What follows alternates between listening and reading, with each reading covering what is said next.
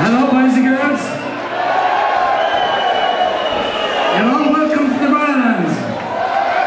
There's no place that gets the excitement and passion in our song like the Barrowlands in Glasgow.